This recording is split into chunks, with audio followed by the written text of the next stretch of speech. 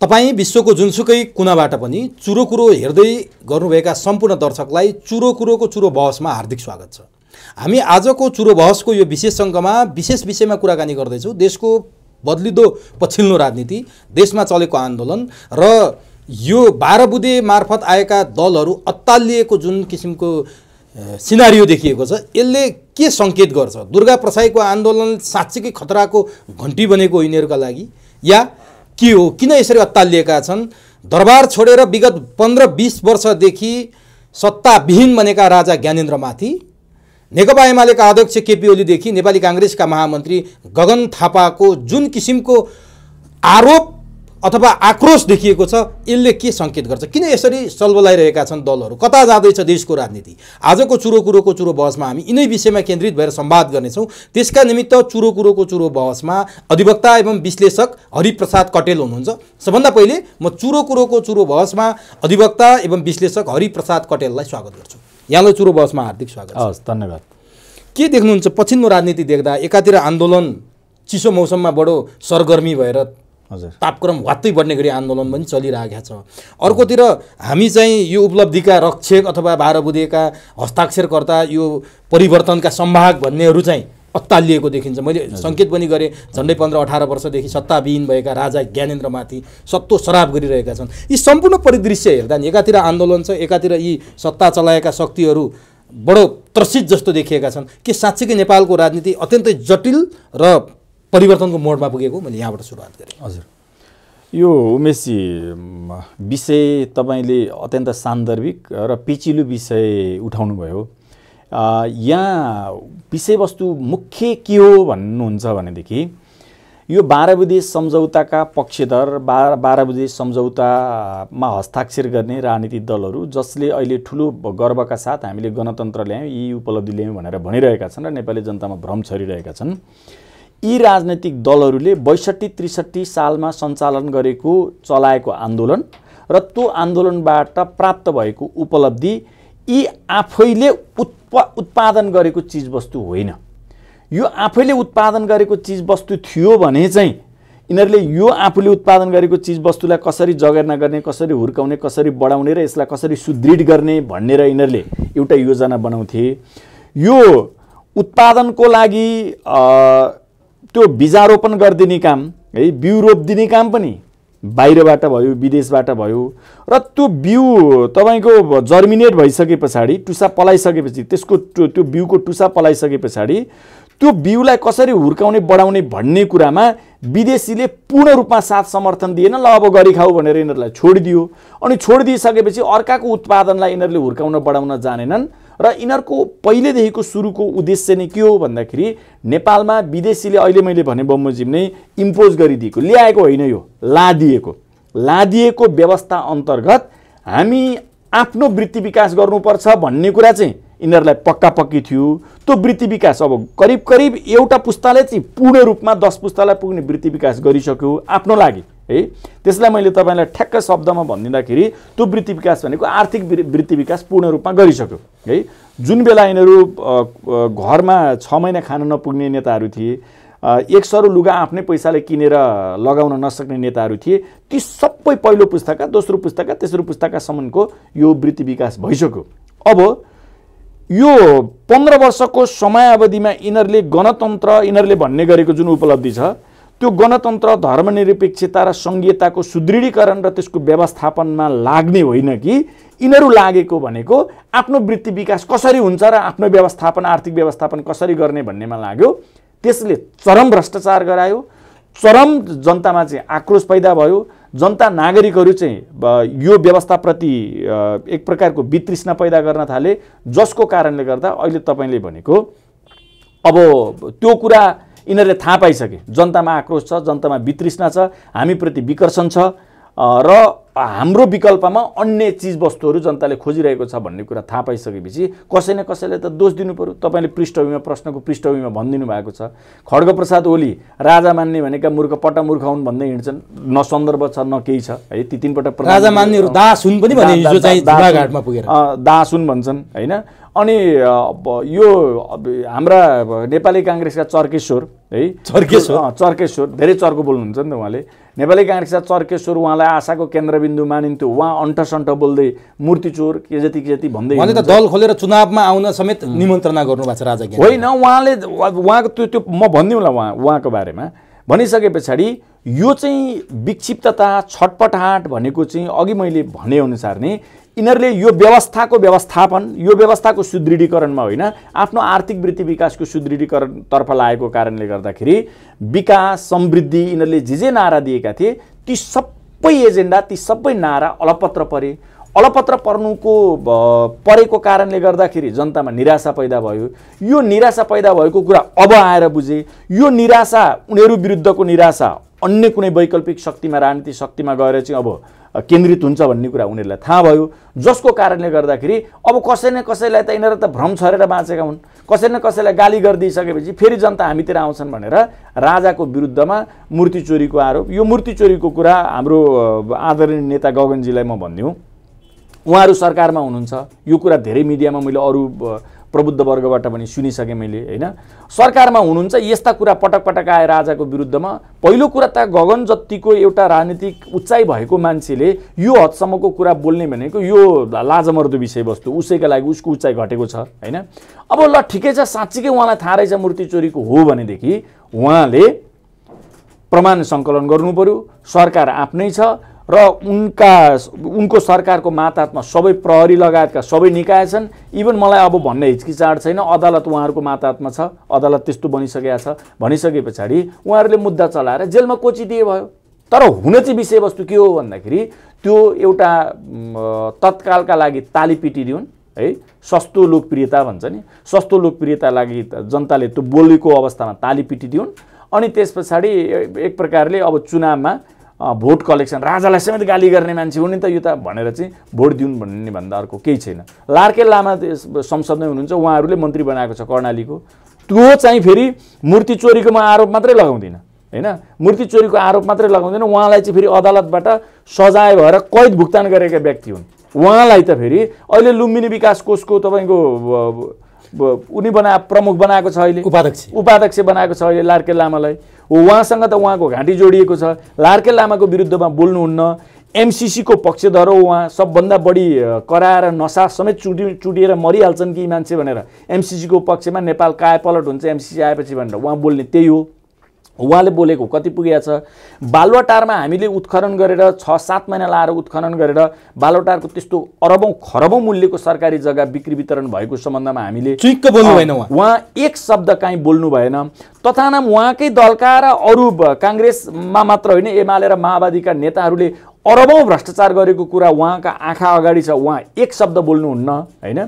अनि तपाईँको नेपालको आर्थिक अवस्था टाट पल्टिने अवस्थामा छ त्यसका बारेमा उहाँ संसदमा बोल्नुहुन्न दिनको छदेखि दस हजार युवा युवतीहरू विदेश पलायन भइरहेको छ सामान्य रोजगारीको लागि। त्यसको बारेमा बोल्नुहुन्न उहाँ हेर्नुहुन्छ कि हेर्नुहुन्न उहाँले पढेका र उहाँले ढुङ्गा हानेका कलेजहरू अहिले बङ्गुर बाँध्ने खोर जस्तो बनाइएको छ। जुन राजाले स्थापना गरिदिएका कलेजहरू। हेर्नुहोस् त लज्जास्पद त्रिवीको जनसङ्ख्या विभागमा विद्यार्थी नभएर कोल्याप्स हुने अवस्थामा। मैले त्रिभुवन विश्वविद्यालयको। हो उमेशजी मैले त्यही भन्दैछु। र अहिले त्यो नेपालमा भएका विश्वविद्यालयहरूमा विद्यार्थी नभएर तल मात्रै खाएर झिङ्गा मारेर बसेका छन् त्यहाँका प्रोफेसरहरू प्राध्यापकहरू। अनि तपाईँको सरकारी स्कुलमा विद्यार्थी छैनन्। इभन निजी स्कुल र कलेजहरूमा विद्यार्थीको सङ्ख्या घटेको तथ्याङ्क स्पष्ट रूपमा त्यो मैले बने ब- बनाएर भनेको होइन। स्पष्ट रूपमा त्यो कलेजहरूले कलेज सञ्चालन गर्न नसक्ने स्थिति आयो भनेर कलेज सञ्चालकहरूले भनिसकेको अवस्था छ।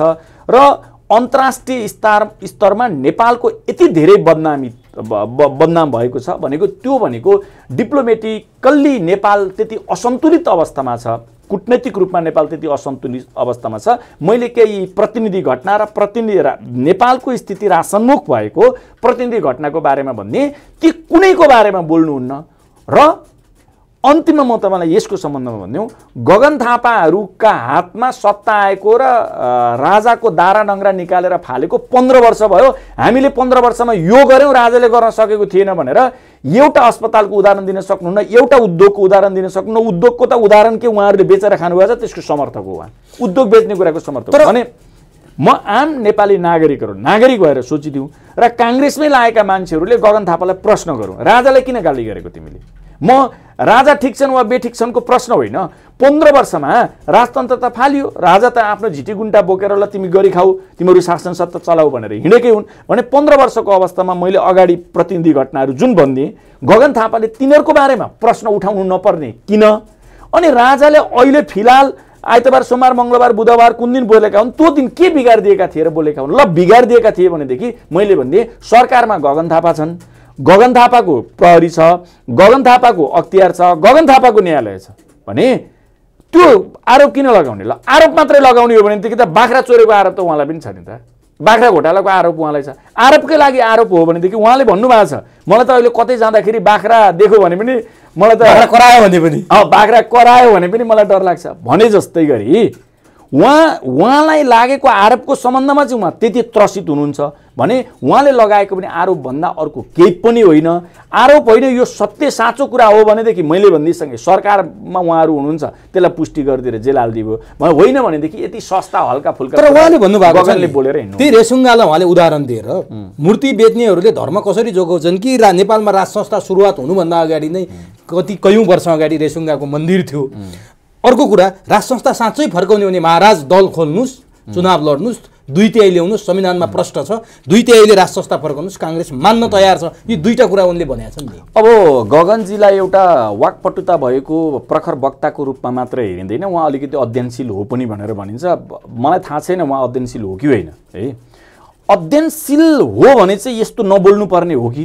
त्यो अध्ययनशील हुनु र वाकपटुता हुनु फरक फरक विषयवस्तु उमेशजी है?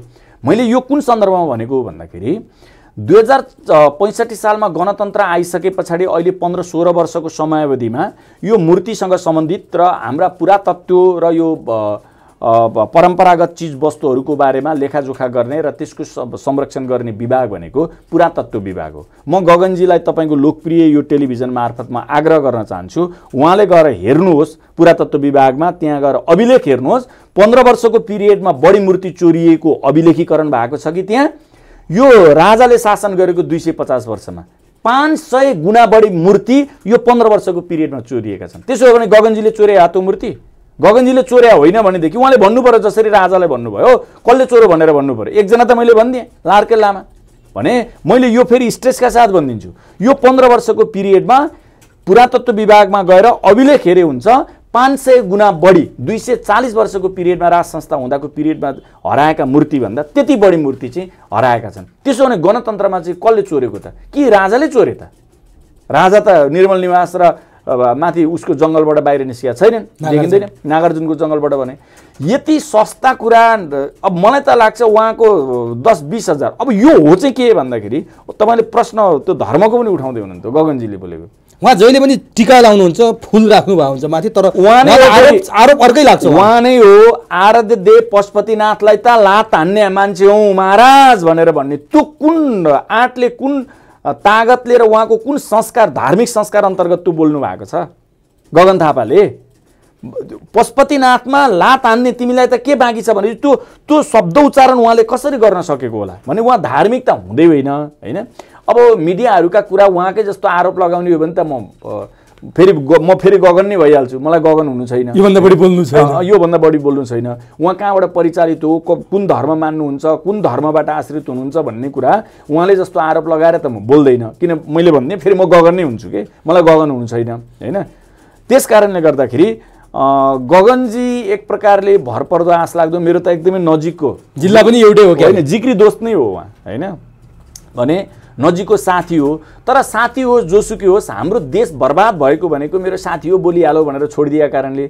मेरो मान्छे मन्त्री हो त्यसैले अलि दुई चार करोड भ्रष्टाचार गरे पनि छोडिदिउँ नबोलौँ भनेको कारणले। मेरो दलको मान्छे हो त्यस कारणले गर्दाखेरि नबोलौँ छोडिदिउँ जति एरर गरे पनि जति कसुर गरे पनि। हो यस्तै यस्तै त्यसैले मैले त एउटा के नीति बनाएँ भन्दाखेरि के नीति अवलम्बन गरेँ भन्दा हामी नेपाली नागरिकहरूले जो कोहीले गलत गरोस् जो कोहीले गलत बोलोस् जो कोहीले कसुर गरोस् त्यसका विरुद्धमा यो कसुर हो भनेर भन्ने आँट गर्नुपर्छ। त्यही आँट अन्तर्गत मैले अब यो संयोग हो या यो उनीहरूको नियत हो जस्तो अहिले दुर्गा प्रसाईले राजा र हिन्दू राष्ट्र चाहियो अथवा नागरिक बचाउनु पर्यो अथवा बैङ्क तथा वित्तीय संस्थाले गरेको जुन किसिमको प्रमलहरू छ त्यसको न्याय चाहिँ जनताले पाउनु पर्यो भनेर आन्दोलन गरिरहँदा एकातिर गगन थापा त्यही बेला बोलिराखेका छन् गुल्मी पुगेर। अर्कोतिर केपी ओली चाहिँ निरन्तर राज संस्थामाथि खनिएका छन्। केपी ओलीमाथि त एक प्रकारको मान्छेको आशा थियो। यिनले हिजो नेपालमा गणतन्त्र आउनु र बैलगाडा चढेर अमेरिका जानु उस्तै हो भन्दाखेरि यी कतै गणतन्त्र विरोधी हुन् कि राज संस्थाका पक्षपाती हुन् कि भन्ने मान्छेहरू सोच्थे धर्मको पनि यिनी जलौरी चढाएका परे पशुपतिमा यिनी धर्मका पनि पक्षपाती हुन् कि भन्ने सोच्थे आज आएर केपी ओलीले पनि ठ्याक्कै गगनकै शैलीमा राजा मान्नेहरू मूर्ख हुन् राजा मान्नेहरू दास हुन् भनेर बोलिरहँदा। एकैपटक यी दुईजना नेताहरू बोल्नुको कुनै अर्थ छ यहाँनिर? यो त्रास हो अथवा संयोग हो? यो एउटा कुरा के हो भने उमेशजी तपाईँले यो साँच्चीकै पेचिलो प्रश्न छ र अहिले नेपाली जनमानसले बुझ्न चाहेको विषयवस्तु हो जस्तो लाग्छ मलाई यो।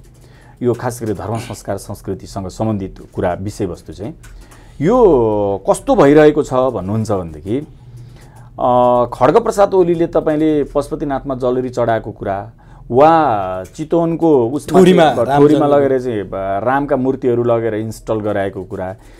यो कम्युनिस्टहरू भन्ने नेपालका म तिनीहरूलाई कम्युनिस्ट भन्दिनँ कथित कम्युनिस्टहरू है? यति पाखण्डता त्यस पछाडि उहाँले त्यो रामको मूर्ति उहाँ लगेर इन्स्टल पनि गराउनु भयो जलरी चढाउनु पनि भयो। अनि हिजो अस्ति तपाईँ यो दसैँ छेकको तपाईँको उहाँका अन्तर्वार्ताहरू पनि हिन्दू धर्म भनेको के हो? कहाँ हो हिन्दू धर्म? कहाँ छ? हिन्दू पनि धर्म हो र। हिन्दू पनि धर्म हो र भन्नुभएको छ। उहाँले त्यसलाई अन्य तरिकाले व्याख्या गर्नु होला। म पनि खड्गप्रसाद ओलीसँग घन्टौँ यो विषयमा बहस गर्न तयार छु होइन? अब त्यसैले यो जलरी चढाउनु पनि पाखण्ड थियो त्यो त सुन अलिकति सुन निकाल्ने कसरत रहेछ। सुन निकाल्नु भयो खानुभयो। होइन? वा उहाँका मान्छेहरूले खाए। त्यो कुरा फेरि दासहरूले यसलाई ट्विस्ट गरेर अन्यथा न नभन्दाखेरि हुन्छ। त्यो प्रष्ट भइसक्यो। किन भन्दाखेरि त्यो सुनकाण्ड आउने बित्तिकै दौडेर अघिल्लो दिनसम्म प्रचण्डलाई चाहिँ पाँडे गाली गरिरहेको ढुङ्गा कुटेर गाली गरिरहेको मान्छे हतार हतार बिहान मुखै नदेखिन प्रचण्डको घरमा आएर यी सबै तमाम भ्रष्टाचारका बारेमा साँठगाँठ गरेर एकअर्काको बिचमा यो तिमी पचाऊ यो म पचाउँछु अब हामी मिलौँ भनेर मिलेर गए। खड्गप्रसाद ओली होइन? भनिसकेपछि अहिले तपाईँले भनेको यो धर्म कर्मका बारेमा र राज संस्थाका बारेमा पनि खड्गप्रसाद ओली फ्लेक्जिबल थिए भन्दाखेरि त्यस्तो देखिएको थियो देखिएको थियो भन्दा सही हो। आम मान्छेहरूलाई त्यस्तो लाग्ने गर्थ्यो कि? यी यिनीहरूसँग कुनै नीति सिद्धान्त विचार केही पनि छैन। हो छ के भनेर तपाईँले त्यसो के हो त प्रधानमन्त्री भइसकेका मान्छे भन्नु भने काकताली हो। र नेपालमा जो पनि हुन्छ। होइन? जो पनि प्रधानमन्त्री हुन्छ जो पनि मन्त्री हुन्छ त्यो मुख्य विषयवस्तु नै रहेन। प्रधानमन्त्री बन्नु मन्त्री बन्नुमा मुख्य विषयवस्तु नै रहेन। त्यसो भने यो के हो त यिनी? भन्दाखेरि यिनीहरू सबै ताक परे तिवारी नत्र गोतामी। म तपाईँलाई ठ्याक्क यो कुरा बुझ्ने तरिकाले राजतन्त्र आउने कन्फर्मेसन यदि भयो भनेदेखि र राजतन्त्र आउने जस्तो यिनीहरूले छाँटकाँट राजनैतिक रूपमा बुझे भनेदेखि सबभन्दा ठुला राजावादी यिनीहरू नै भन्छन् भने मलाई भनिदिनु होला त्यसैले मैले भनेको के हो भन्दाखेरि यिनीहरू पाखण्डी हुन्। त्यसो त राजतन्त्र आउने भए पनि जुनसुकै तन्त्र आउने भए पनि कुनै तन्त्रमा यिनीहरू आस्था राख्छन् विश्वास राख्छन् भनेदेखि मर्ते दम तक बरु मर्न तयार हुनुपर्छ। त्यही सिद्धान्तमा रहनुपर्छ नि। माओवादीले तपाईँको चालिस सूत्रीय माग शेरबहादुर देउबालाई बुझाउँदाखेरि ती चालिसवटा बुधा हेर्नुहोस् त। के के छोडेर आयो? भनिसकेपछि त्यो किन छोड्यो? भन्दाखेरि सत्ता प्राप्तिका लागि। हो ठ्याक्कै। सत्ता दायाँ बायाँ नहुने अवस्था आइदियो भने यिनीहरू राणातन्त्र पनि मान्छन् जे पनि मानिदिन्छन् यिनीहरूले। यिनीहरू आफ्नो सुरक्षा र आफ्नो हो। खाइपाइ आउने अहिले चाहिँ काङ्ग्रेस एमाले र माओवादीका नेताहरूको धर्म सङ्कट भनेको र यिनीहरूलाई लागेको डर भनेको यिनीहरूले म यो शब्द अलिक कडा लाग्ला दर्शकहरूलाई लागोस् केही छैन होइन? त्यसलाई कडै रूपमा बुझ्दै हुन्छ। यिनीहरूले गरेका जघन्य अपराध गल्ती होइन। मान्छे गल्ती गल्ती भन्छ गल्ती होइन। है? यिनीहरूले गरेका देश र जनता विरुद्ध गरेका जघन्य अपराध र यिनीहरूले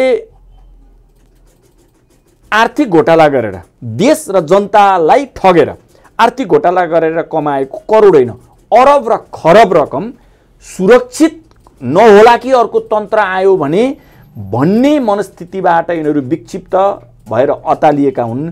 त्योभन्दा अर्को कुनै गणतन्त्रले देश विकास गरेर के हेरेर बसे त? देश विकास गर्थे गर्थे भनेदेखि। पन्ध्र वर्षमा पन्ध्र वर्षमा कुछ हुँदैन भन्ने कसैलाई लाग्छ भनेदेखि प्रचण्डले दस वर्षमै हुन्छ भनेको छ तर त्यसको खण्डन अहिले आएर गरिसक्यो। होइन संविधान टाइममा बनेन। ल ठिक छ संविधान टाइममा बनेन त्यो कुरा पनि हामी मानिदिउँला अरे। यिनीहरू अब्सट्याकल्स देखाइहाल्छन्। ओलीलाई सोध्यो भने फलानाले गर्दा भन्छ प्रचण्डलाई सोध्यो भने ओलीले गर्दा भन्छ देउबालाई सोध्यो भने यी दुइटाले गर्दा भनिदिन्छन्। अनि त्यसपछि नेपाली जनता हेरेको हेरे हो। होइन? र एक्लैले शासन गर्ने किसिमको त्यस्तो किसिमको व्यवस्था संवैधानिक व्यवस्था र त्यो राजनैतिक समीकरण मिल्ने किसिमको संवैधानिक व्यवस्था यिनीहरू गर्दै गर्दैनन् किन गर्दैनन् भन्दाखेरि एक्लै अर्कालाई दोष लाएर खानु छ। अब यसले तपाईँले भनेको प्रश्नको निचोडमा चाहिँ म के आएँ भन्दाखेरि यिनीहरूलाई कुनै इजम बचाउनु छैन। यिनीहरू पहिलो कुरा कम्युनिस्ट नै होइनन् होइन? यिनीहरू ठगहरू हुन्। त्यसैले यिनीहरूलाई कम्युनिजम बचाउनु पनि छैन गणतन्त्र बचाउनु पनि छैन मार्क्सवाद बचाउनु पनि छैन लेनिनवाद बचाउनु पनि छैन कुनै बात बचाउनु छैन। पचाउनु चाहिँ छ। हो एक्ज्याक्ट तपाईँले शब्द एकदमै राम्रो छनौट गरिदिनु भयो। एकदमै रिदम मिल्यो तपाईँले भनेको उसमा। यिनीहरूको अभिष्ट र उद्देश्य मात्र के हो भन्दाखेरि योभन्दा अगाडि खाएको पचाउनु छ। बचाउनु केही पनि छैन यिनीहरूलाई। त्यसैले यिनीहरूले गरेको केही पनि होइन। केही विकास पनि गरेको छैन। मैले भनिदिएँ नि तपाईँले न उद्योग छ न अस्पताल छ न शिक्षा छ न स्वास्थ्य छ न रोजगार छ न बाटोघाटो छ न विद्युत छ केही पनि छैन। केही कुछ छैन। अब कसरी चलिरहेछ त देश भन्दाखेरि रेमिटेन्स एउटा आधार छ। अनि त्यस पछाडि जब पैसा सकिन्छ तिमीले नै ल्याइदिएको इम्पोज गरिदिएको व्यवस्था हो बचाइदिनु पऱ्यो नत्र त जनतामा आक्रोश र निराशा छाउँछ। अनि फेरि जनता हाम्रा विरुद्धमा उठ्छन्। तिमीले भनेअनुसारको काम हामी गर्न सक्दैनौँ। तिमीले भनेअनुसारको काम भनेको यिनीहरूले गर्ने काम भनेको विदेशीको काम हो। नेपाल र नेपालीको होइन। फेरि यो कुरा तिनै दलका दासहरूलाई म भनिदिन्छु। यो मैले भनेको होइन। नारायण काजीले भनेको। यो मैले भनेको होइन। बाबुराम भट्टराईले भनेको यो मैले भनेको होइन सुदन किराँतीले हिजो अस्ति भर्खर मैले त सरकार मात्रै विदेशी चाबीले चल्छ भनेको त संसद पनि विदेशी चाबीले चल्छ भनेर त ती सुदन किराँती भन्ने एकजना अब अहिलेका पर्यटन। पर्यटन मन्त्रीले बोलेका छन्। र अरू धेरै नेताहरूले अरू दलका नेताहरूले पनि कृष्णबहादुर महराले पहिल्यै पहिले भनिसक्यो भनिसकेका छन्। भनिसकेपछि तिनीहरूलाई नि सोध्न जाऊ मलाई ब्याकफायर नगर। तिनीहरूलाई नि सोध्न जाऊ यो विदेशी चाबीले चल्छ। त्यस कारणले गर्दा त्यो विदेशी चाबीले चल्छ भनेको चाहिँ हो के भन्दाखेरि यिनीहरू मन्त्री प्रधानमन्त्री सभामुख सभासद सांसद जे जे बन्छन् नि तिनीहरू त्यो पदले यिनीहरूले गर्ने काम भनेको विदेशीको काम हो भारतको काम हो पश्चिमाहरूको काम हो। अब अलिकति थोर बहुत चिनकै पनि होला होइन? भनेपछि विदेशीको काम गर्न पद हो यिनीहरूलाई त्यो मन्त्री पद। नेपाली नागरिकहरूको किन होइन भन्नुहुन्छ भने मैले अगाडि भन्ने खोइ स्वास्थ्य खोइ शिक्षा खोइ रोजगार खोइ बाटोघाटो होइन? काहीँ केही लटिबद्ध र भद्रगोल नै छ नि त। खोइ उद्योग धन्दा। अनि राजा फर्किने भयो भने यिनीहरू त्रास भएको कुनै सूचना पाए पाएर यिनीहरू चाहिँ आक्रोशित भएका हुन् कि अब यिनीहरूले चाहिँ गालीका लागि गाली गरिरहेछन्। जस्तो केपी ओली त मध्य पहाडी लोकमार्गमा चाहिँ समृद्धको यात्रा भनेर तपाईँको महाकालीको झुलाघाटमा गएर चाहिँ नेपालको झन्डा गाडे। त्यो पनि बडो विचित्र तरिकाले झन्डा गाडेका कुराहरू बाहिर आइरहेछन्। नेपाली भूमि दुई सय मिटर छोडेर उनले गाडे। यसअघिको एउटा दृष्टान्त पनि यहाँलाई सुनाइदिन्छु सायद यहाँलाई पनि थाहा छ होला। त्रिपन्न चौवन्न सालतिर त्यही नेकपा एमालेको भातृ संस्था अनिरा सोबिउले कालापानीसम्म मार्च पास गर्दै जाँदा झन्डै सात किलोमिटर नेपाली भूमि छोडेर सात किलोमिटर ओरै झन्डा गाडेर फर्केर आयो। त्यति बेलाको भारतीय सुरक्षा फौजले जान नदिएपछि। अनि त्यो सात किलोमिटर पनि अकुपाई गरेर भारतले आफ्नो आफ्नो- त्यहाँनिर आफ्नो सेना राख्यो। भनेपछि यिनीहरू चाहिँ मार्च पास गर्न गएर नेपाली जमिन फिर्ता ल्याउनु भन्दा ज- जमिनै बुझाएर आएछन्। केपी ओलीले त लिपुलेक लिम्पिया धुराको त्यो चुच्चे नक्साको बडो गर्वका साथ भाषण गर्छन् मैले फर्काएको भनेर। अहिले यो दृष्टान्त मैले यहाँसँग सेयर गरिरहँदा एकातिर राजालाई गाली गरिराखेका छन् अर्कोतिर नेपाली भूमि नै घुम्ने अवस्था छ। यो चाहिँ के हो खासमा? यसलाई म तपाईँको तिनवटा तथ्यबाट यो कुरा मेरो ज्ञानले भ्याएसम्म तिनवटा तथ्यबाट म तपाईँलाई प्रष्टि प्रष्टीकरण दिन्छु यो सम्बन्धमा। यो जुन बेला महाकाली सन्धि गरियो त्यहाँबाट बिग्रेको छ। लाउन चाहिँ महेन्द्रलाई दोष लाउँछन्। त्यो छब्बिस सालमा चिन र भारतको बिचमा दुई हजार छब्बिस साल नेपालको अब नेपाली सम्बन्ध। दुई हजार छब्बिस सालमा चिन र भारतका बिचमा जुन लडाइँ। यो लडाइँ भएको थियो त्यस बेला त्यो क्षेत्रमा चाहिँ भारतले हाम्रा बख्तर बन्दर हतियारहरू राख्न देऊ भनेर दि त्यो अनुरोध गर्दाखेरि कुटनैतिक अनुरोध मार्फत त्यहाँ बख्तर बन्दर र केही उसका सरसामानहरू है राख्न दिएको त्यो त्यो हदसम्म मात्र सत्य हो है? तर तपाईँको यो उन्नाइस सय अडसट्ठीतिर नै चिन भ्रमणको समयमा माउथ सेतुङको समयमा त्यो कालापानी लिम्पियाधुरा लिपि लेकको बारेमा राजा महेन्द्रले उठाएको स्ट्रङ एउटा स्टेटमेन्ट छ। त्यो स्टेटमेन्टलाई मैले हेरेँ। त्यो स्टेटमेन्ट अ, लाई हेर्दाखेरि त त्यति राष्ट्रवादी मान्छे एक इन्च जमिन पनि दायाँ बायाँ हुन नदिने भन्ने त्यो स्टेटमेन्ट दिएको छ र पछि त्यसैलाई इस्यु बनाउँदै बनाउँदै बनाउँदै बनाउँदै अब अहिले आएर तपाईँको त्यो त बख्तर बन्दर राख्न दिएको। एउटा यो वारिङ समयमा है युद्धरत समयमा छिमेकी देशहरू जोतिर अलिकति टिल्ट छ त्यो कुरालाई म फेरि स्वीकार्छु जोतिर अलिकति टिल्ट छ उसका कुरालाई मानेर त्यहाँ सामान राख्न दिनु र भारतले हेपा प्रवृत्ति गरेर पछि ती सामान फिर्ता नलगेर त्यो भूभाग नै कब्जा गर्नु त्यो भारतको हेपा प्रवृत्ति मात्रै हो। अब रह्यो महाकाली तर भारतको भूभाग हो हाम्रो भइसक्यो भनेर त तपाईँको इन्टरनेसनली त्यो कुरालाई घोषणा गर्न सकेका थिएन नि त भारतले। होइन? त्यो कुरालाई घोषणा गर्न सकेका थिएन। घोषणा चाहिँ क्रमिक रूपमा कहिलेदेखि गर्यो भन्नुहुन्छ भने एक खरब एक्काइस करोड रुपियाँ वार्षिक प्राप्त गर्छौँ भारतबाट हामीले भनेर यिनीहरूले दसवटा कि कतिवटा ठाउँमा सभा सम्मेलन गरेका छन्। खड्गप्रसाद ओली माधव कुमार नेपाल जुन बेला शेरबहादुर देवा प्रधानमन्त्री थिए। यो आम नेपाली नागरिकहरूले बुझ्दा हुन्छ तथ्यमा दायाँ बायाँ अलिकति एउटा अक्षर पनि भएछ भनेदेखि मलाई सिधा कल गरेर भन्दै हुन्छ।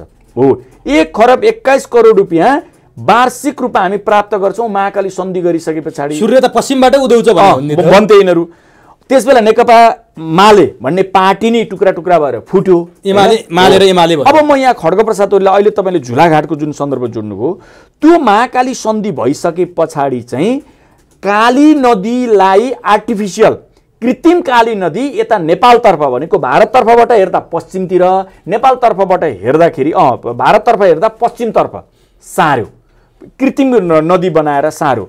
अब त्यो कृत्रिम नदी म्यापिङ समेत गरेर त्यो कृत्रिम नदीदेखि यता चाहिँ नेपाल हो अनि उता चाहिँ भारत हो। किनभने हामीले पनि भन्ने गरेको मेची काली पूर्वमा मेची पश्चिममा काली। काली त काली हो तर त्यो बनाएको काली चाहिँ कृत्रिम काली हो। त्यो ओरिजिनल प्राकृतिक काली चाहिँ यिनीहरूले त्यो सम्झौता मार्फत नै खड्गप्रसाद ओलीहरूले नै भारततर्फ त्यो कृत्रिम कालीदेखि उताको भूभाग दिए।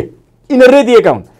त्यो कृत्रिम कालीदेखि उताको भूभाग अन्तर्गत के के पर्यो भन्दाखेरि लिपुलेक लिम्पियाधुरा गुन्जी लगायतका ठाउँहरू जहाँ अस्ति गुन्जी भन्ने ठाउँमा आएर भारतीय प्रधानमन्त्री परेड खेले। अब तपाईँले त्यो त्यो कुरा तथ्य हो त्यो हाम्रै भूमि हो त्यो। हाम्रै भूमि हो तर काली नदी नै यता सारिदियो त्यो काली नदी कृत्रिम काली नदी अहिले पनि छ। अब त्यहाँ विज्ञहरू गएर त्यहाँ उत्खनन गरेर त्यो कृत्रिम नदी चाहिँ काली नदी कुन हो अनि प्राकृतिक रूपमा बहेको काली नदी चाहिँ कुन हो भनेर त्यहाँ अहिले पनि अनुसन्धान गर्दाखेरि नाङ्गो आँखाले देखिन्छ। एक अब यहाँनिर क- खड्गप्रसाद ओलीलाई एक खरब एक्काइस करोड रुपियाँ त्यो महाकाली। महाकाली त खाए खाए। ल ठिकै छ त्यस बापतको एक खरब एक्काइस करोड रुपियाँ कुन खातामा जम्मा गरिदिएको छ? खड्ग प्रसाद ओलीकै खातामा।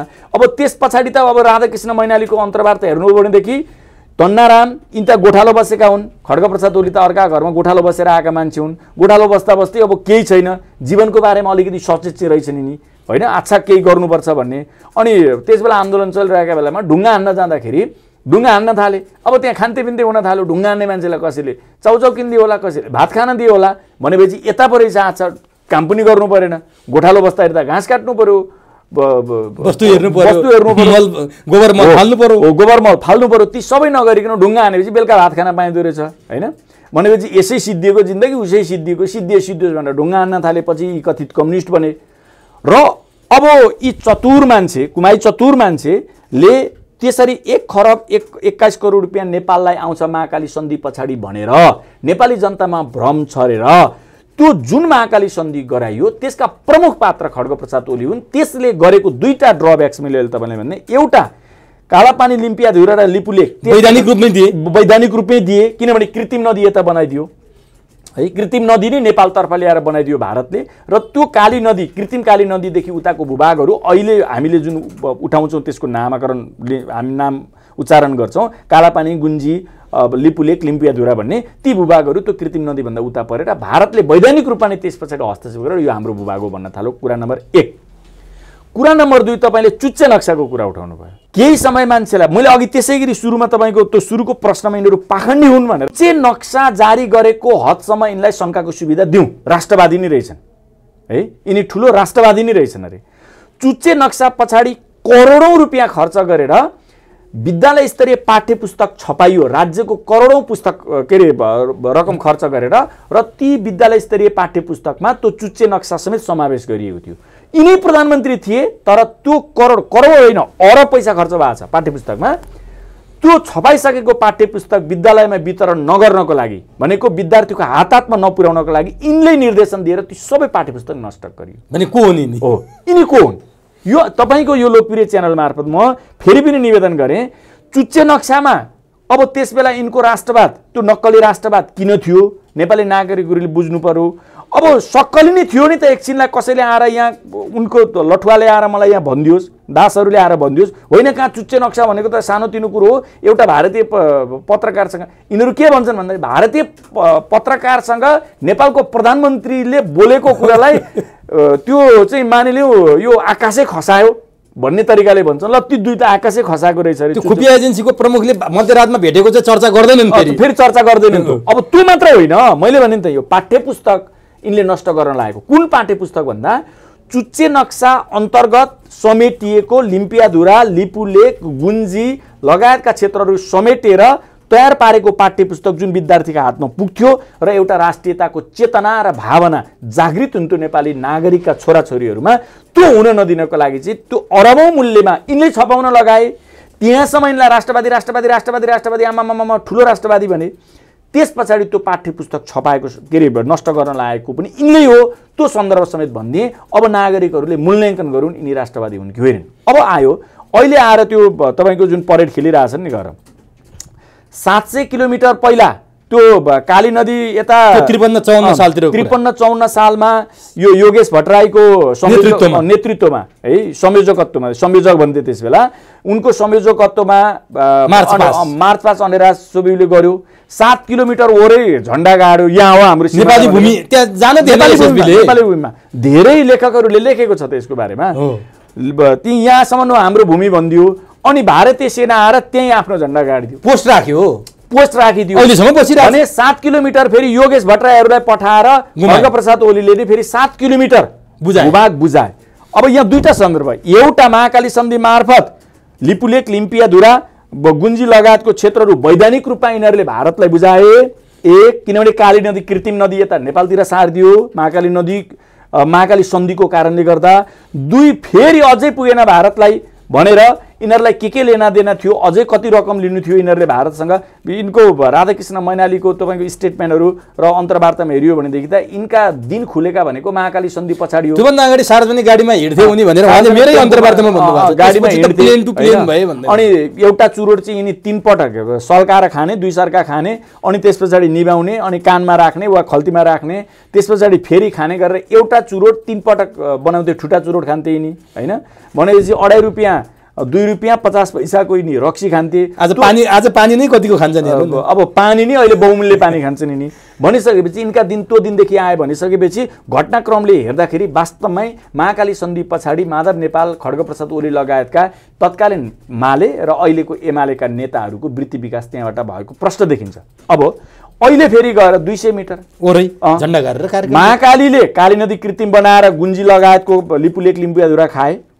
फेरि योगेश भट्टराईलाई संयोजक बनाएर सात किलोमिटर खाए अनि अहिले दुई सय मिटर यता यो गरेको। अब यसमा आधिकारिकता नै होला किनभने प्रमुख समाचार माध्यमहरूले यो आइसकेको छ। भने दुई सय मिटर यता नै यो नेपालको झन्डा। झुलाघाट भनिदिए तर दुई सय मिटर यता चाहिँ नेपालको झन्डा गाडे। अब फेरि त्यहाँ भारतीय पोस्ट आएर बसिहाल्छ। भनेपछि फेरि पनि जमिन भारतीय पोस्ट आएर बसिहाल्छ। म तपाईँलाई अर्को यहाँ अस्ति आएर मोदी परेड खेलेको सम्बन्धमा यिनीहरूले जुन हामीले चाहिँ चुच्चे नक्सा जारी गऱ्यौँ भनेको छ।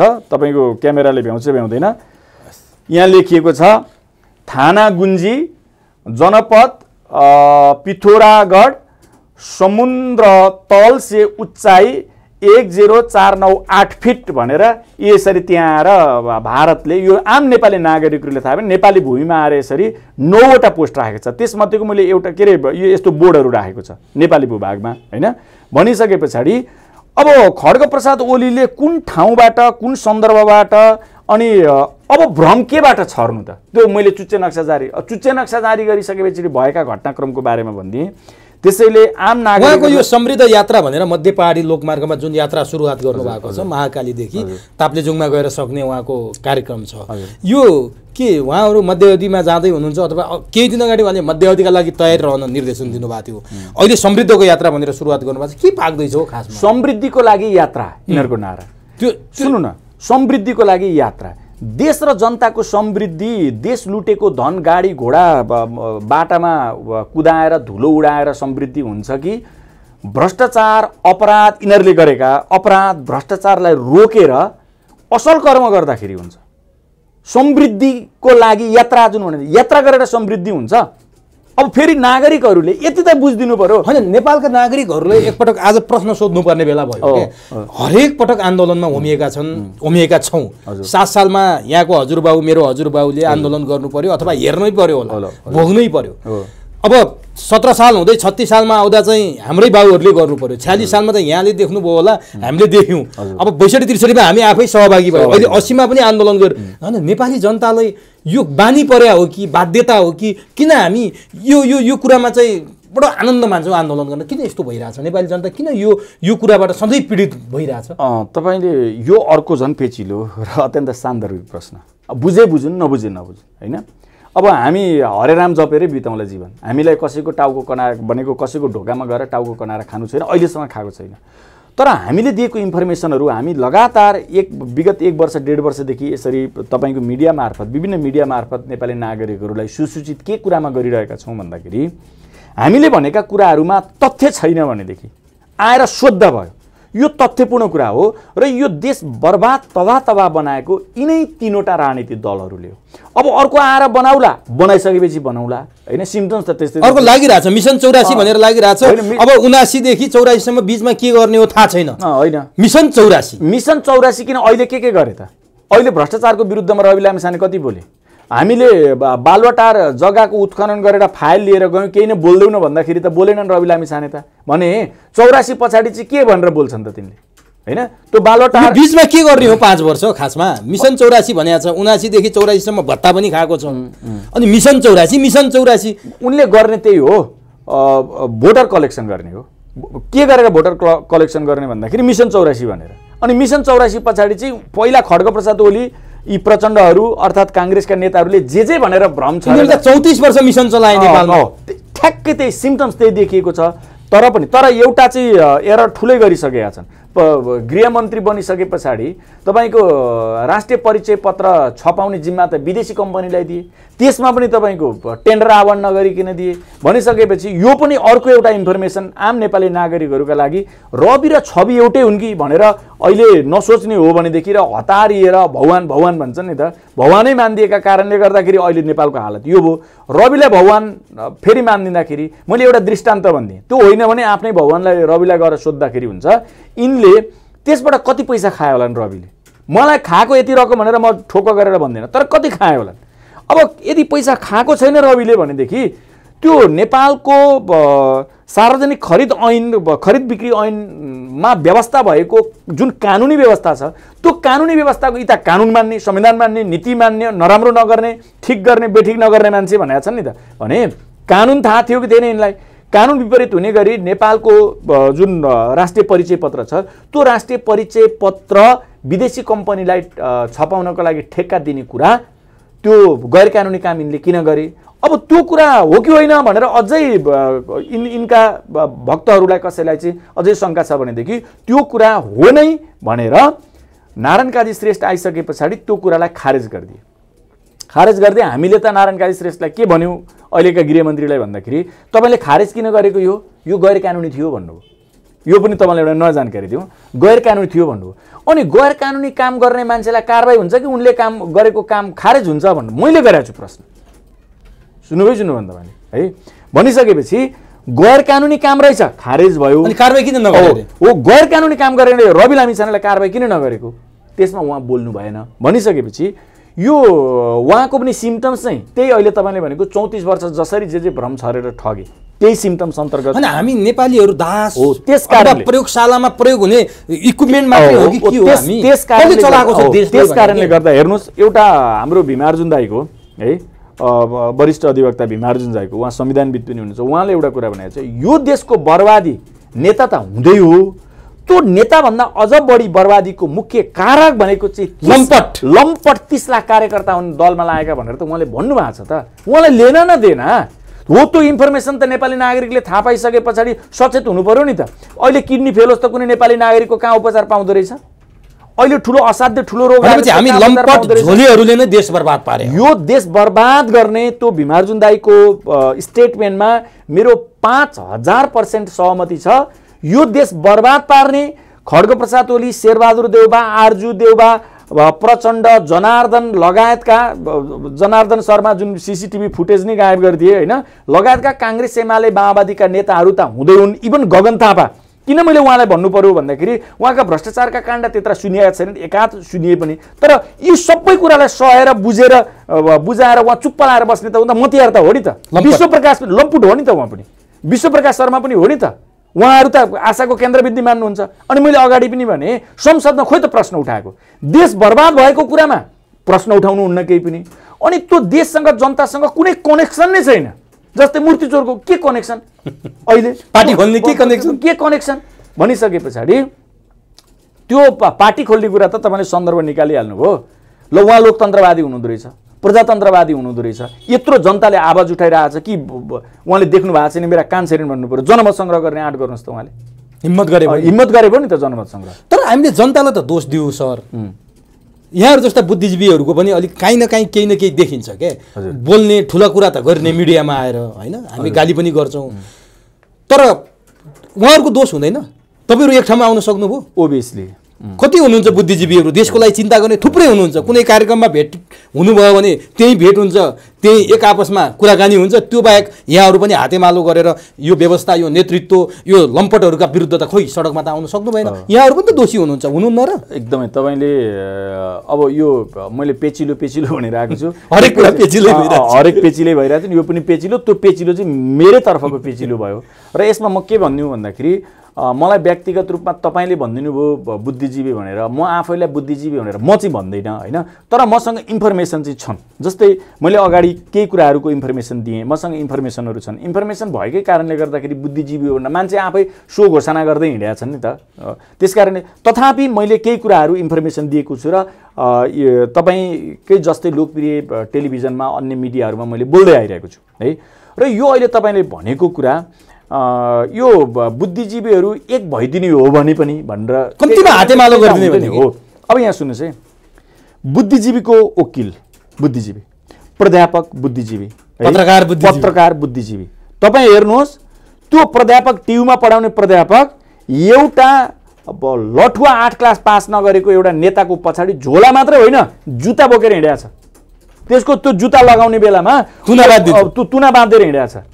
हजुर म ल्याइदिन्छु भनेको छ। हजुर किन दुःख म जु- जुत्ता अलिक पराडै छैन म ल्याइदिन्छु भनेको। प्राध्यापक त्यो किन भन्दाखेरि म त्यो प्रसङ्ग अघि तपाईँलाई भन्दै थिएँ उसलाई पद खानु छ। काहीँ राजदूत पाइन्छ कि? संवैधानिक निकायहरूमा काहीँ राजनीतिक नियुक्ति पाइन्छ कि? वा कतिलाई त्यही ट्युमा चाहिँ पदोन्नति गराइदिन्छ कि? त्यसको लागि। तर एज ए होल उसले पाउने एउटा पद वा लाभका खातिर ऊ देश बर्बाद भएको कुरा टुलु टुलु हेरेर बसिया छ। वकिल हेर्नुहोस् त। त्यो दुर्गा प्रसादले अस्ति भने वकिल पनि काहीँ काङ्ग्रेसको हुन्छ? काहीँ एमालेको हुन्छ? काहीँ माओवादीको हुन्छ? हो वकिल के छन्? कोही काङ्ग्रेसका छन् कोही एमालेका छन् कोही माओवादीका छन्। वकिल त वकिल पो हुन्छ त। ऊ काङ्ग्रेस वकिल अरे माओवादी वकिल अरे। अब त्यो वकिलको मात्र कुरा छाडिदिनुहोस्। यो मैले फेरि मलाई अन्यथा ठानिएला। न्यायाधीश पनि काङ्ग्रेसको। न्यायाधीश एमालेको अस्ति। भर्खरै हेरेर नियुक्ति भएको। कुनै हामीले पार्टीको त बाँकी नै छ त अझ त्यहाँ सञ्चार माध्यमबाट। त त्यही भनेर त सुनाइयो त सञ्चार माध्यमले काङ्ग्रेसको तर्फबाट फलानु एमालेको तर्फबाट माओवादीको। बाँकी छ। माओवादीको बाँकी छ भनिसकेपछि वकिल दलको झोला बोक्ने प्राध्यापक दलको झोला बोक्ने पत्रकार दलको झोला बोक्ने त्यो मात्र के हो भन्दाखेरि म पद सत्कार गर्दिनँ त्यो पेट पाल्नका लागि। डाक्टरले भोलि दलको झोला बोकेर अमुक दलको बिरामी हुँदा अमुक दलको डाक्टर पर उपचार गर्दैन भने के हुन्छ? गरेको त्यो छ त स्थिति अनि अनि डाक्टर दलका झोले हुने डाक्टरका सङ्घ सङ्गठन छन् अनि इन्जिनियरका सङ्घ सङ्गठन छन् वकिलका सङ्घ सङ्गठन छन् प्राध्यापकका सङ्घ सङ्गठन छन्। यस्तो तालले देश विकास समृद्ध हुन्छ। सुन्नु न। शिक्षकका सङ्घ सङ्गठन छन्। हो अहिले एक्ज्याक्ट भन्नुभयो। ल कुनै पनि दलकोमा लागेको कुनै पनि एउटा दास ल्याएर मलाई भनिदियोस् कुन ग्रिन सिग्नल देख्छ कुन सिम्टम्स छ कुन लक्षण छ वा कुन इन्डिकेटर्स बत्ती बलेको छ कि देश समृद्धितिर अब एउटा उदाहरण म सेयर गरौँ। जस्तो निजामती अथवा ट्रेड युनियन यिनीहरूका छन् नि। यिनीहरूका पदाधिकारी कुन कुन ठाउँमा यिनीहरूको जागिर हुन्छ त्यहाँ कहिल्यै हाजिर हुनै पर्दैन रहेछ है। यिनीहरू केन्द्रमै बस्यो यहीँबाट तल भत्ता खायो इन्धन दुरुपयोग गर्यो इन्धन बाँड्यो यसरी ट्रेड युनियनका नेताहरू हरेक पार्टीका हो। काठमाडौँमा बसेर राजनीति गरिरहेछन्। खान्छन् तलब। तिर्नुपर्छ ट्याक्स तपाईँ हामीले। अनि देश हुन्छ सर। खोइ कारबाही। कसले गर्ने अब कारबाही? अघि हामीले वकिल पत्रकार प्राध्यापक डाक्टर इन्जिनियर निजामतीको हेरौँ। अब निजामतीमा पनि अहिले तपाईँले प्रसङ्ग उठाइदिनु भयो। निजामती पनि कोही काङ्ग्रेसको निजामती छ। भोलि कुनै काम तपाईँलाई चाहिँ यो कतैको पनि होइन भनेर चिनो। निजामतीले काम लिएर जानु त नगरिदिन्छ। नगरिदिन्छ होइन नगर- गरिदिँदैन। नगरेका त्यहाँ त हजारौँ उदाहरणहरू छन्। भने देशको कर्मचारी खोइ कोही काङ्ग्रेसका छन् कोही एमालेका छन् कोही माओवादीका छन्। त्यो मात्रै पुलिस एमाले माओवादी काङ्ग्रेसका छन्। भोलि सेना त्यस्तै भइदियो भने? हो। अब हेर्नुहोस् यो मैले अहिले हामीले जुन सन्दर्भ यहाँ उठायौँ नि, कोट्याइरहेको छौँ। अँ, कोट्याइरहेको छु नि यी सन्दर्भलाई आधार बनाएर समृद्धि कहाँ भेटाइन्छ अनि यी समृद्धि कहाँ देखिन्छ? यी सन्दर्भले व्यवस्था पुरै फेलियर भयो भन्ने सङ्केत सर। त्यति मात्रै होइन। पहिला छयालिस साल पछाडि बौद्धले व्यवस्था आइसके पछाडि कमसेकम अलिकति म्याच्योर्ड भइसकेको उमेरका कलेज लेभलमा पढ्ने विद्यार्थीहरूले मात्रै राजनीति गर्थे। अहिले तपाईँको पाँच कक्षासम्मको विद्यालयमा गएर काङ्ग्रेस एमाले र माओवादीले आफ्ना आफ्ना लेबी- उठाउँछन्। लेबी उठाएर सङ्घ अखिल? अनेरासोबिउ अनेरासोबिउ क्रान्तिकारी त्यो बनाइरहेको छ पाँच कक्षा अनि फोटो खिचेर गर्वका साथ झन्डा बोकाएर। फलानु विद्या हो त्यो पाँच कक्षासम्म पढ्ने भनेको प्राथमिक विद्यालयमा विद्यार्थीहरूको युनियन गठन गरेर फलानु विद्यार्थीलाई भनेर नौ वर्षको विद्यार्थीलाई तपाईँको नेभी सङ्घको सभापति बना- बनाइयो भनेर अनि फोटो खिचाएका छन् हेर्नु। है? भनेपछि यहाँहरूले यसरी बोलिदिइराख्नु भएको छ कम्तीमा प्रश्न पारिदिइरहनु भएको छ। खोजी सत्य न्याय भनेर यहाँहरूले एउटा अभियानै चलाउनु भएको छ। बालुवाटारदेखि सरकारी जग्गाहरू हडपेका कुराहरू यहाँहरूले कति सरकारी जग्गा त फिर्ता पनि गर्नुभएको छ। यहाँहरूले स्यालुट पनि छ यहाँहरूले गरिराख्नु भएको छ। तर थुप्रै मान्छेहरू हुनुहुन्छ जो बोल्ने मात्रै गर्नुहुन्छ। उहाँहरूलाई हातेमालो गरेर तपाईँहरू ल्याउन सक्नुहुन्न? किन तपाईँहरू मिल्न सक्नुहुन्न? जसरी राजावादीहरू एक ठाउँमा आउन सकेका छैनन् त्यो- नि। त्यो प्रसङ्गमा त्यो प्रसङ्गमा म आएँ। अब यो अघि भनेका विद्वान बुद्धिजीवीहरू कति त त्यसरी पार्टीमै विभाजित छन्। अहिले स्वतन्त्र भए भन्नेहरू बुद्धिजीवीहरू पनि अर्थात् स्वतन्त्र हौँ भनेर मिडियाहरूमा चिच्चाएर देशको बारेमा चाहिँ इन्फर्मेसन देश बर्बादी भइरहेको सम्बन्धमा बोलेर हिँड्ने पनि एकै ठाउँ एउटै प्लेटफर्ममा आउन नसक्नु तपाईँले भने जस्तो दुर्भाग्यपूर्ण नै छ यो। अब त्यसमा पनि केही न केही भेस्टेड इन्ट्रेस्ट होला। म तपाईँलाई यो सन्दर्भ कोट्याएको कारणले हिजो अस्ति एउटा यिनै बुद्धिजीवीहरूकै भेलामा मैले भनिदिएको थिएँ। तपाईँहरू फरक फरक अ, डम्फु बजाएर किन हुनु हिँड्नुहुन्छ भनेर। त्यहाँ सौरभजी हुनुहुन्थ्यो है? त्यहाँ तपाईँको रिता खनाल हुनुहुन्थ्यो। हाम्रो वरिष्ठ अधिवक्ता ध्रुवलाल श्रेष्ठ हुनुहुन्थ्यो। लगायतका थुप्रै विद्वानहरू बुद्धिजीवीहरू हुनुहुन्थ्यो। एसके तिमल सिन्हा हुनुहुन्थ्यो। भने उहाँहरूको बिचमा म जतिको लठौ लठुवा तपाईँहरूको पछाडि हिँड्ने मान्छे छँदैछौँ। भने तपाईँहरू एक ठाउँमा आइदिनु भयो भनेदेखि त कि संसारका सबै चाहिँ बुझ्नु भएको छ? यो देश पनि सबै बुझ्नु भएको छ। तर एउटा कुरा नबुझे जस्तो लाग्यो तपाईँहरूले। एकतामा बल हुन्छ भन्ने चाहिँ नबुझे हो कि क्या हो तपाईँहरूले भनेर मैले भनिदिएको थिएँ। हो बुझ्नु भएको छैन भने अहिले मैले बुझाइदिएँ। म तपाईँहरूको पछाडि लागेको छु होइन? भने अब म जस्ता थुप्रै लठुवाहरू हुन्छन् तपाईँको पछाडि लाग्ने र यो लठुवा कुन सेन्समा भनेको भन्दाखेरि मान्छे रिसाउला कि भनेर बोल्दैन कुरा। मैले बोलिदिएँ म लठुवा भएँ। म जतिको बोलिदिएँ एक ठाउँमा आइदिनुहोस्। एक ठाउँमा आइदिनुहोस् भनेर मैले अब। यो त अब म अन्तिम अन्तिमतिर छु। यो त बेला बेलामा हामीले प्रसङ्गवश उठाइरह अब दुर्गा प्रसाईको आन्दोलन पनि त्यस्तै देखिया छ। सबै एक ठाउँमा आइदिएको भए एकतामा बल हुन्छ भने जस्तो हाम्रो मुठीमा बल छ। एउटा अमला मात्रै हुँदा त जसले नै भाग दिन सक्छ योमा बल हुँदैन।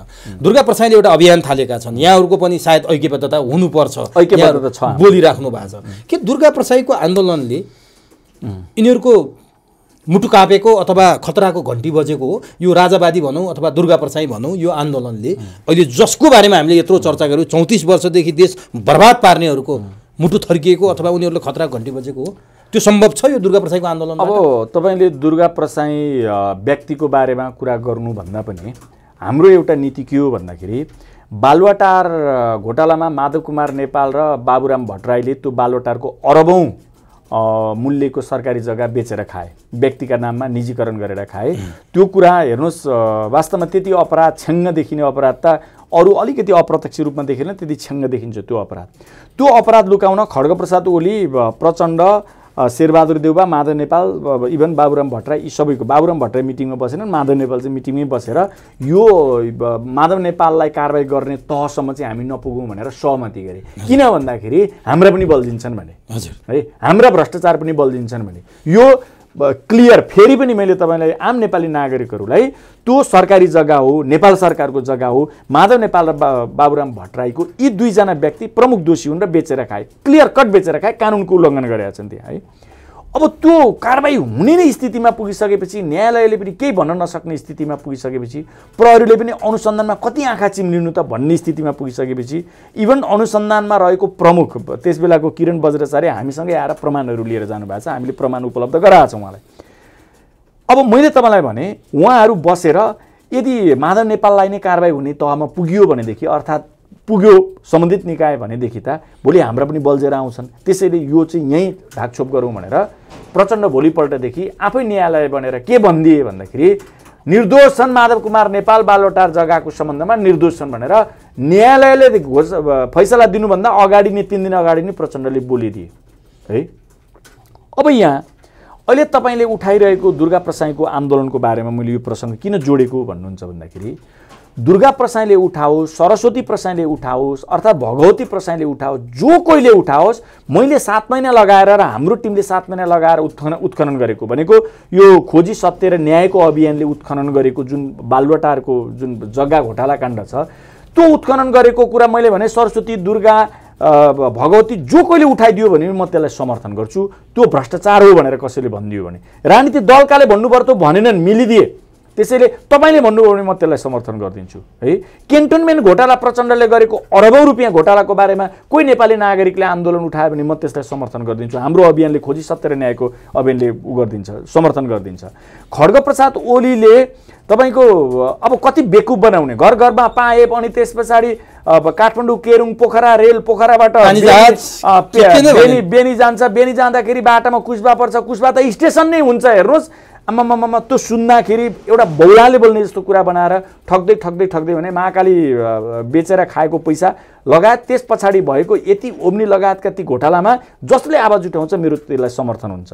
र यो अब त्यो अघि पनि मैले तपाईँलाई भनिदिएँ अर्थमन्त्री हुँदाखेरि जनार्दन शर्माले त्यो सिसिटिभी फुटेजको त्यो सानो अपराध थिएन त्यहाँ। त्यसमा आर्जु देउबा र शेरबहादुर देउबाको छोरो जोडिएको थियो। नौ अरब त्यो सेनिटरी प्याडमा घोटाला गरियो भनेको कर त्यति छुट दिएर उहाँलाई अरबौँ पैसा एउटा बाइस वर्षको मान्छेलाई। यहाँ राजाका छोरा चाहिँ जन्मिँदैखेरि अनि कर्नेल जर्नेल भएर जन्मिनुपर्ने भनेर दासहरू बोल्छन्। तर एक्काइस वर्षको मान्छेले नौ अरब पैसा त्यत्रो ठुलो कम्पनी सञ्चालन गरेर नौ अरब पैसा चाहिँ राज्यको ढिकुटीबाट उसलाई उपलब्ध गराइदिएको कुरा दासहरूलाई थाहा छैन। हो। यो अहिले मैले केही प्रतिनिधि त्यसैले त्यसैले मैले के भनेको भन्दा दुर्गा प्रसाई भएन भने अर्को सरस्वती प्रसाई आउँछ जोकै आउँछ। नेपालमा अब शान्त अवस्थामा यिनीहरूलाई लुट्न दिइरहने अवस्था छैन। यो अर्थमा दुर्गा प्रसाद व्यक्ति को हो भनेर भन्नुभन्दा व्यक्ति पनि ठिक छ। के छ त? अपराध छ भने सरकारले कारवाही गरेको हो नि त। तर आन्दोलन त हेर्नुहोस् त मङ्सिर सातबाट सुरु भएको आन्दोलन खिँदै खिँदै कहाँ छ भनेर खोज्नुपर्ने बेला भयो। सरकारको धरपकड सरकार सरकारको दमनको अगाडि टिक्न नसके जस्तो पनि देखियो। अब टिकटक बन्द भइसक्यो। युट्युबहरूमाथि पनि पत्र काट्यो। निजी टेलिभिजनको समाचार प्रसारण हुन सकेन अन्तर्वार्ता।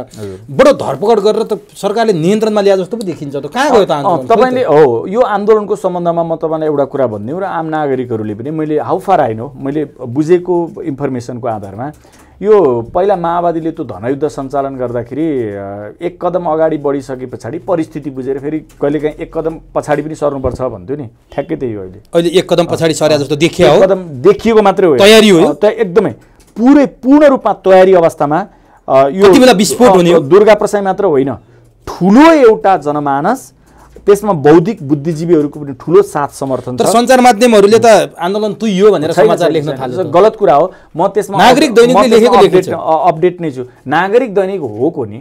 नागरिक दैनिक हो को नि? त्यसरी बुझिदिनु पऱ्यो नि। त्यसैले तपाईँको म डेटै भनिदिन्छु। फागुन एक गतेबाट आँधी बेरी आउँदैछ। त्यस त्यो बेलासम्मको लागि त्यो तयारी गरेर यो रिहर्सल हो। सुन्नु न आन्दोलनमा पनि पहिला त्यो तालमा ढुङ्गा हानेर त्यसको गहिराई नाप्ने हो कि? अहिले गहिराई नाप्ने काम भयो भनेपछि यो शक्ति सञ्चयमा लाग्यो भनेर बुझ्नु पर्यो। होइन यो त ओभियसली हो नि। सरकारको दमनले रोक्न सक्दैन? कर्फु लाग्ला। कतिजना मार्ला? निषेध लाग्ला। सुन्नु न कतिजना मार्ला? तपाईँको बैसठी त्रिसठी सालमा दरबारले त्यस बेलाको शासन सत्ताले त्यो आन्दोलन दबाउन सक्यो र? त्यो त भयङ्कर भीमकाय हुन्छ नि। भनेपछि अब अब यो किन किन हो भन्दाखेरि यो अहिले हामीले यी तिनवटा राजनीतिक दलहरूले गरेका तमाम अपराध र भ्रष्टाचारका बारेमा जुन व्याख्या गऱ्यौँ नि हामीले तथ्यसहित व्याख्या गऱ्यौँ नि त्यो सहेर बस्ला नि त नेपाली नागरिकले। भने आँधी बेरी आउन त बाँकी नै छ। एकदम। अब अन्तिममा छौँ। यो सबै कुरा निस्तेज पार्ने भित्र केही पाक्दैछ तयारी हुँदैछ भनेर बाहिर बोल्न थालेका छन् मान्छेहरू यहाँहरूले राज संस्था दुर्गा प्रसादले राज संस्था पनि भनेका छन् हिन्दू राष्ट्र पनि भनेका छन् बैङ्क तथा वित्तीय संस्थाको जुन ज्यादती छ त्यसको विरुद्ध पनि बोलेका छन्। तर त्यही बिचमा अत्तालिएर हो अथवा खतराको घन्टीले हो अथवा आफ्नो हातबाट शासन सत्ता जानेर यहाँले भने जस्तो जघन्य अपराध खुल्ने डरले हो। भित्र केही पाक्दैछ भन्ने सुनिन थाल्यो। र शेरबहादुर देउबाले बोले कि नेपाली काङ्ग्रेसको महासमितिको बैठकमा बहुसङ्ख्यक त नभनौँ तर धेरै जसोले हिन्दू राष्ट्रको कुरा गर्दा यसअघि त्यो इन्डोर्स नै भएको थिएन। यसपटक शेरबहादुर देउबाले हिन्दू राष्ट्रको बारेमा छलफल गर्न सकिने भने आर्जु देउबा उता गएर राखी बाँध्नेवाली परिन् विजय चौथाइवालेसँग उनी पनि त्यो बारेमा बोलेका कुराहरू सार्वजनिक भए। यी दुईवटा कुराले मर्निङ सो द डे भन्छ नि सर काहीँ कतै नेपथ्यमा केही पाक्दैछ कि अथवा दुर्गा प्रसादको आन्दोलन तुल्याउनलाई यहाँ केही हुँदैछ कि हिन्दू राष्ट्रमा सहमति भन्ने बाहिर प्रचार गरिएको छ। यसले आन्दोलनलाई प्रभाव पार्ने हो अथवा यहीँ गएर टुङ्गिने हो के हो खास? मैले यहाँबाट बिट मार्न एकदमै ठिक छ। तपाईँले यो पनि छुटाउनु भएन। एकदमै एकदमै यो पेचिलो। पेचिलो छ टची छ यो कुरा। अगाडि नै मैले यसको बारेमा के भनेको थिएँ भन्दाखेरि यिनीहरू परिस्थितिको मूल्याङ्कन गर्छन् काङ्ग्रेस एमाले र माओवादीले। र आफ्नो विकल्पमा अर्को कुनै राजनीतिक शक्ति आउने भयो भनेदेखि जसलाई यिनीहरू गाली गरेर सरापेर बसिरहेका छन् अहिले आफू शक्तिमा हुँदाखेरि र यिनीहरू शक्तिमा फेरि म तपाईँलाई एउटा कुरा भन्दै उमेशजी यिनीहरूको शक्ति आफ्नो शक्ति होइन। यिनीहरूलाई ब्याट्री जडान गरिदिएको छ। त्यो अफ गरिदिएपछि त्यो ब्याट्री झिक्दियो भनेदेखि सिद्धियो फेरि। यिनीहरूलाई ब्याट्री जडान गरिदियो त्यो ब्याट्रीको पावर हुन्जेली मात्रै हो ब्याट्री झिक्दिन सक्छ। र त्यो सङ्केत हो अहिले तपाईँले भनेको। है? यी प्रभुहरूले सधैँभरि एउटै गोठालो एउटै खेतालो राख्दैन। विदेशी बोली हो यो हिन्दू राष्ट्र। अब अब सुन्नुहोस् म तपाईँलाई भनिदिन्छु। यो विदेशी बोली भन्दा पनि त्यो सङ्केत पाइसके। अब सकिँदैन। हाम्रो विकल्पमा अर्को शक्ति आउँछ आउँछ आउँछ भन्ने यिनीहरूलाई भइसक्यो। र एकैचोटि तिनवटा एजेन्डा के के अरे तिनवटा उपलब्धि भन्थे नि। तिनटै भन्दाखेरि गला गुलुक्नै सकिने भयो अहिले। भनेको त्यो मैन पहिले जस्तो पग्लिएको अवस्था हुने भयो। त्यसैले मैन चाहिँ बिस्तारो पगाल्ने तरिकाले अन्तिममा आउने यिनीहरू यहीँ हो। म तपाईँलाई अलिकति यसलाई पुष्टि गरिदिउँ। शेरबहादुर देउबा र आर्जु देउबा दुइटैले धर्मनिरपेक्षताको बारेमा सुन्न चाहँदैनथे के अरे धर्म सापेक्षताको बारेमा हिन्दू राज्यको बारेमा सुन्न चाहँदैनथे अहिले आए। हो। त्यो त पुष्टि गरेका छैनन्। किन भने यसलाई चाहिँ अब छलफलको विषय बनाउन। कार्ड चाहिँ तुरुप चाहिँ फालिदेऊ वाले होइन? सुरु फालिसके।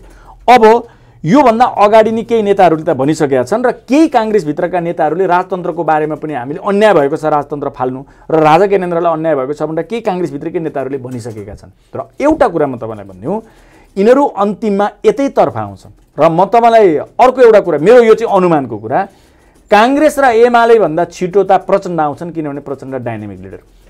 है? राजा र हिन्दू राष्ट्रमा। हिन्दू राष्ट्र र राजामा। अब यो राजतन्त्र नल्याउनको लागि फेरि यो पनि नागरिकहरूलाई विशेष मैले निवेदन गरेँ। काङ्ग्रेस एमाले र माओवादीका नेताहरूले गणतन्त्रभित्र रहेर देश र जनताको विरुद्धमा के अपराध गर्न बाँकी छ के अपराध गरेका छन् होइन के अपराध गर्न बाँकी छ ल क्यालकुलेसन गरे हुन्छ। र राजाले चाहिँ के अपराध गरेका थिए देश जनताको विरुद्धमा? र राजालाई बोइकट गर्नुपर्ने। राज्य सत्ताबाट सत्तामा राखेर चाहिँ पूजा गर्नुपर्ने कारण के छ? भनेपछि भोलि यिनीहरूले राज संस्था फर्काएर फेरि यिनीहरूकै हालिमुहाली हुने भयो भने अर्को उपाय छैन नि। यिनीहरूकै? अ- अर्को उपाय होइन नि, ए हालिमुहाली यिनको हुने सम्भावना छँदै छैन। सुन्नुहोस् है। को हालि- आउँछ त त्यहाँ को आउँछ। तपाईँको नेपालमा यत्रो तिन करोड पपुलेसनमा कोही नागरिक दल त। यिनीहरूकै कब्जामा छन् त। होइन दलमा पनि त तपाईँको त्यो दल सधैँभरि पेवा हो त। सुन्नु न त्यो अहिले पो त प्राइभेट लिमिटेड बनाएर छ नि त खड्गप्रसाद ओलीको एमाले। प्रचण्डको माओवादी शेरबहादुर शेरबहादुरको काङ्ग्रेस। जनताको होइन। हो। त्यस पछाडि चाहिँ जनताको दल बन्छ त्यो। अनि तिनै मान्छे नेतृत्वमा हो। आउँछन् जनताको दल बन्छ। जनता स्वस्थ जनताहरू स्वच्छ जनताहरू इमान्दार जनताहरू र यो देश र जनताप्रति वफादार रहने इमान्दार जनताहरू र देशभक्त जनताहरू त्यो दलमा प्रवेश गर्छन्। मैले दलीय सिस्टम नै जान्छ भनेको होइन। यदि अन्तिममा त्यसरी चल्ने हो। कथम कदाचित हिन्दू राष्ट्रमा चाहिँ सहमति भएछ भने यहाँहरूको आन्दोलन के हुन्छ? मात्रै हिन्दू राष्ट्र कुरा गर्दैछु है देउबाले भने अब यो तपाईँ अन्तिम अन्तिम आइसक्नुभयो यो लामो व्याख्या हुन्छ। किन लामो व्याख्या हुन्छ भन्दाखेरि धर्मको संरक्षण भनेको त्यो एउटा सेन्टर पोइन्टबाट हुन्छ। त्यसैले यो मैले सर्टकटमा भन्ने हिन्दू धर्मको सेन्टर पोइन्ट भनेको नेपालको राज संस्था। नेपालको राज संस्था नेपालको हिन्दू धर्मको मात्र सेन्टर पोइन्ट होइन। फेरि अरू धर्मावलम्बीहरूलाई यहाँ घोचपेच गरौँ अर्थात् डोमिनेट गरौँ भन्ने त्यो आशय आउला। हिन्दू अधिराज्य हुँदा योभन्दा अगाडि नेपालमा कहिल्यै पनि कुनै धर्मलाई सप्रेस गरिएको थिएन। एउटा दृष्टान्त भनिदिइहालौँ। अहिले धर्मनिरपेक्षता बनाइसके पछाडि बुद्धिस्टहरू बौद्ध धर्म मान्ने र किराँत धर्म मान्ने मान्छेहरूले गरेको धर्मान्तरण हेर्नुहोस् कति जगेर्ना भएको रहेछ त्यो धर्म भनेको बुद्ध धर्म बौद्ध धर्म र किराँत धर्म।